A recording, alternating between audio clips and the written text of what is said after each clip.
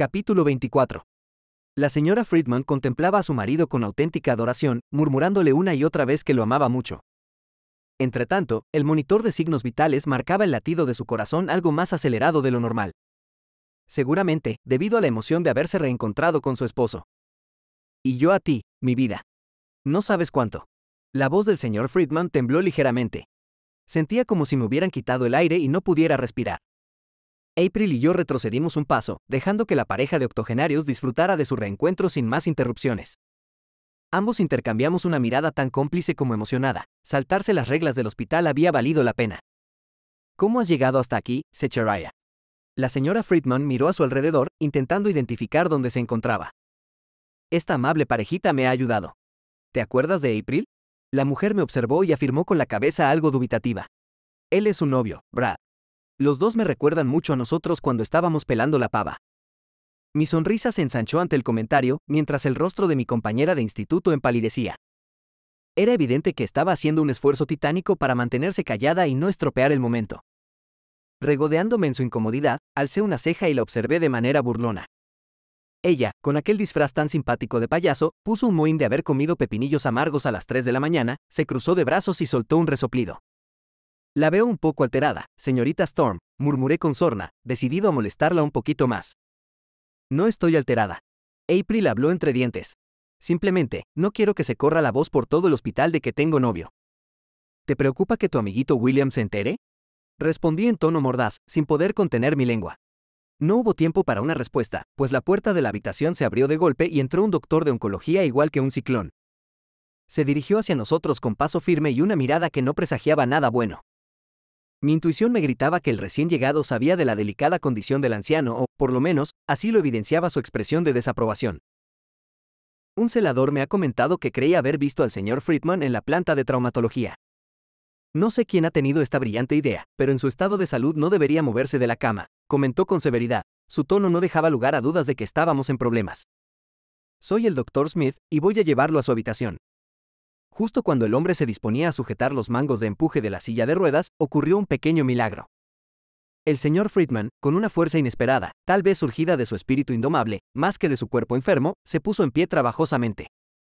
Tambaleándose, pero con decisión, se inclinó sobre su esposa y, con un esfuerzo que parecía sobrehumano, le dio un cálido beso en los labios. Te amo, Ruth, dijo con un amor tan profundo como el océano. Y yo a ti también, Zack. Ahora fue la señora Friedman quien se incorporó en la cama para devolverle el beso al hombre con quien había compartido más de media vida.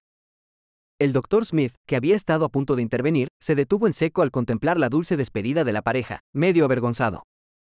Finalmente, se dirigió hacia ellos con una actitud más relajada. Por favor, tome asiento, señor Friedman. En su estado es preferible que evite permanecer de pie por mucho rato. No queremos que le abandonen las fuerzas. Sentí una mezcla de alivio y felicidad por el repentino cambio de actitud del Dr. Smith, quien debía haberse conmovido por lo sucedido. Supongo que eso debe ser el amor verdadero, comenté sin pensar, envidiando un poco a esa pareja de ancianos. El doctor Smith giró la cabeza y, mirándonos por encima del hombro, dijo en tono solemne, será mejor que os marchéis de aquí. He avisado a los de seguridad y no tardarán mucho en llegar. Si os atrapan estaréis metidos en serios problemas. Por mi parte, no he visto nada. Mi reacción fue instantánea. Tomé la mano de April y tiré de ella hacia la puerta, sin darle tiempo de despedirse de nadie. Los dos corrimos por el largo pasillo como un par de críos que se ríen de alguna travesura. Varias personas nos miraron sin comprender a qué venía tanta felicidad. La gente de la planta de traumatología no sabía de la emoción y la calidez que nos embargaba por haber hecho una buena obra. Aquel fantástico día siempre estaría entre mis recuerdos favoritos. Incluso me devolvió algo de la fe que había perdido en las personas. Por allí. Señalé hacia el lado contrario, alejándome de los vigilantes que venían por un pasillo lateral. Jesucristo. April respiraba con dificultad, quizás debido a su baja forma física. No estaba muy acostumbrada a hacer deporte. Cerca de nosotros, vimos como las puertas de un ascensor se abrían de par en par. Una chica joven salió con tranquilidad, al mismo tiempo que los dos nos abalanzábamos hacia el interior del aparato, igual que un par de delincuentes que se cuelan en una discoteca. Con dedos temblorosos por la adrenalina aporré el botón de la planta baja. La pareja de guardias de seguridad nos miraba anonadada, sin comprender qué estaba pasando. Con la respiración agitada, las risillas contenidas se convirtieron en abiertas carcajadas, que resonaron entre las cuatro paredes de aquel pequeño espacio hasta que nuestros ojos se encontraron. Entonces, la alegría dio paso a otro tipo de sentimiento, uno mucho más arrebatado e intenso. Mi corazón latía de manera desbocada y solo deseaba hacer una cosa. Sin poder contener ese impulso, coloqué mi mano en su mejilla y rocé sus labios con mi dedo pulgar. April entreabrió la boca ligeramente, y yo no pude resistirme al impulso de inclinarme sobre ella para rozar la zona que acababa de acariciar. El vello de la nuca se me erizó debido al placer, mientras ella se quedaba algo inmóvil ante mi arrebato, quizás aturdida por la sorpresa o tal vez temiendo adentrarse en aguas pantanosas. No obstante, cuando mi boca comenzó a moverse sobre la suya, su actitud dubitativa se esfumó. Una urgencia desconocida me hizo tomarla por la cintura y atraerla contra mí. Introduje la lengua en su dulce interior cuando sus delicados dedos se enredaron en mi cabello. Mis propias manos, temblorosas al principio, ascendieron por su espalda a medida que el beso se volvía más profundo y nuestros gemidos de placer se enredaban. El sabor de su boca era embriagador, y el ritmo de nuestros besos se hizo más frenético, más salvaje. Sentir su aliento acelerado mezclándose con el mío aumentaba mi necesidad de querer más, deseando tomar todo aquello que pudiera ofrecerme, igual que si ardiera en mi cuerpo un fuego incontrolable que solo ella podía apagar. De repente, el altavoz del ascensor soltó un planta baja, y April se apartó de mí algo avergonzada.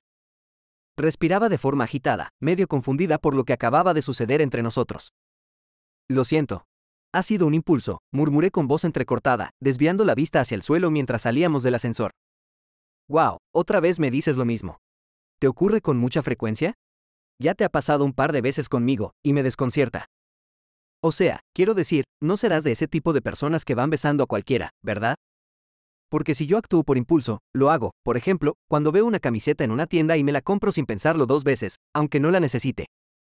O cuando escucho un ruido fuerte y salto debido al susto. Yo no suelo besar a nadie sin querer, lo hago deliberadamente. April me habló con un tono medio enfadado, medio decepcionado, caminando a mi lado rumbo a la salida. Además, ¿sabe Madison que eres tan impulsivo? Sus palabras me cayeron como un balde de agua fría, recordándome la realidad y poniéndome en mi sitio. La miré, tratando de encontrar las palabras adecuadas, pero solo pude sentir el sabor a desesperación que destilaba la culpa. Tienes razón. No he podido resistirme. Sí, sí, me lo dicen muy a menudo. Es por la nariz roja de payaso, es irresistible. Soy la mata Harry de mi vecindario.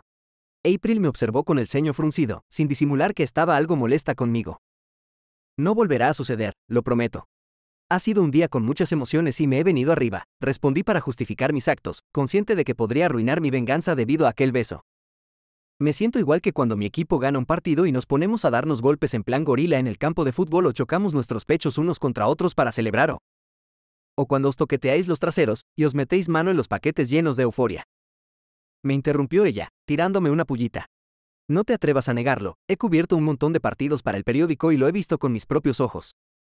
Sonreí ante su comentario jocoso, y ella pareció relajarse al fin, dejando la hostilidad a un lado. No todos hacemos eso. Claro, lo que tú digas. En la calle había comenzado a salir el sol entre las nubes, como si el mismo clima estuviera de mejor humor. Joder. Necesito soltar algo de adrenalina. Exclamé cuando la frescura de una ráfaga de aire me acarició las mejillas.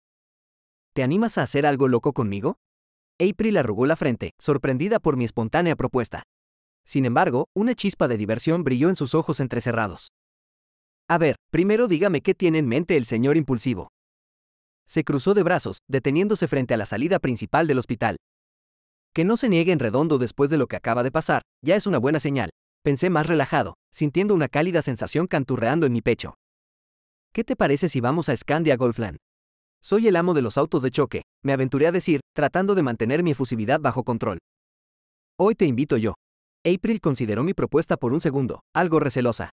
Ahora me da un poquito de miedete. No vaya a ser que te dé uno de esos arranques tuyos de impulsividad y termines saltándome los dientes con tu auto de choque.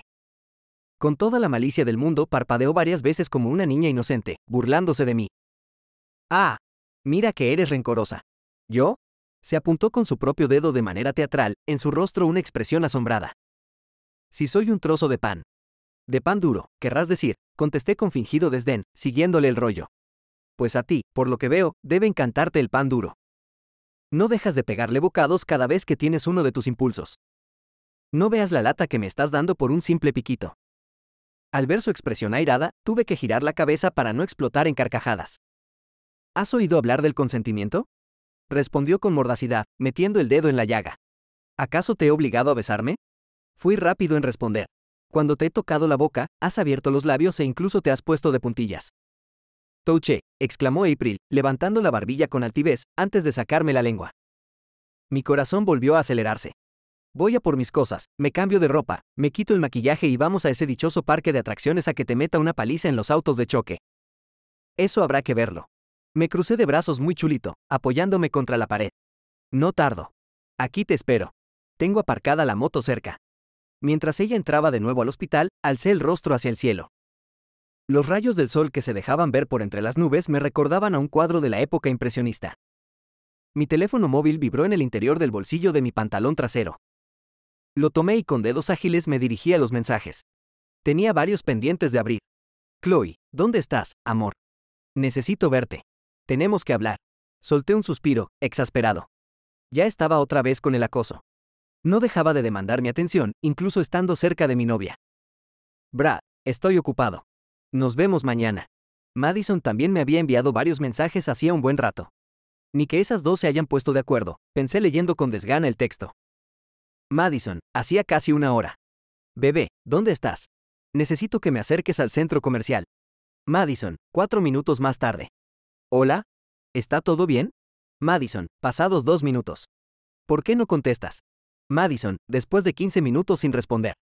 He llamado a tu casa y tu madre me ha dicho que no estás. Madison, tras otros cinco minutos. ¿Se puede saber dónde te has metido? Madison, al cabo de dos minutos. Últimamente, siempre me dejas en visto. Madison, apenas diez minutos antes. No me llames ni me escribas. Estoy cabreada. Mejor hablamos mañana. Mi antiguo yo habría tenido un nudo de angustia en el estómago, pues siempre temía la impaciencia de mi novia. Todo el tiempo intentaba complacer hasta el último de sus deseos para evitar los problemas con ella. Ahora me daba cuenta de que había sido un poco calzonazos. Pero desde que decidí mandar mi lado sumiso a tomar por culo, nuestra relación había empeorado notablemente. Si antes Maddie era controladora, en la actualidad se había vuelto una tirana insoportable que me castigaba con su indiferencia. Una parte de mi plan consistía en seducirla, llevármela a la cama y después burlarme de ella. Ya no sentía el menor remordimiento por acostarme con su mejor amiga. Es más, dos días atrás me había tirado a otra animadora después de los entrenamientos. Nos habíamos liado en las duchas, tal vez era una forma de devolverle algo de lo que ella me estaba haciendo con Oliver. Mientras la penetraba, sujetaba entre las manos la cadenita que mi novia había perdido días atrás. Ni siquiera sé cómo se llama, me regañé mentalmente, intentando hacer memoria. Solo sabía que era una pelirroja despampanante. Durante el año anterior, en alguna fiesta descontrolada, recordaba que ella había flirteado conmigo, pero yo jamás le había hecho caso. Con un suspiro profundo, borré el chat de Chloe y dejé en visto a Maddie. Ya encontraría una excusa decente para engañarla. Últimamente, me había sorprendido al descubrir que era un buen mentiroso. Mi plan seguía en marcha y esa noche estaba decidido a seducir a April Storm. Iba a poner toda mi artillería pesada en esa misión.